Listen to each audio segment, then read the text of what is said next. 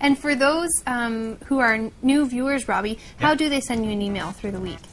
All you have There's to do is just get onto our website, category5.tv, click on Interact. First option is uh, Ask a Question. We'll do it right That easy. Yeah, simple, huh? Mm-hmm.